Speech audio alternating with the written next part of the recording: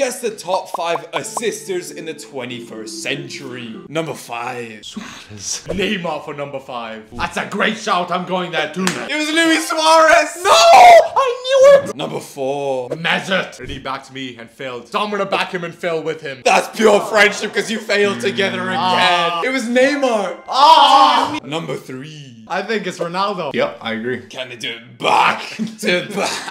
to back. And they do it back to back to back. Ah. it's Di Maria. Ah. yeah, you failed back to back to back. Okay, number two has to be El Bicho. I'm going for Thomas Muller. And Ernie and Hamad both get it wrong again. What? Kevin De Bruyne, 281 assists. Nah, Numero uno. Messi, Messi please, know. if we don't get this. Nah, 357 assists, Lionel.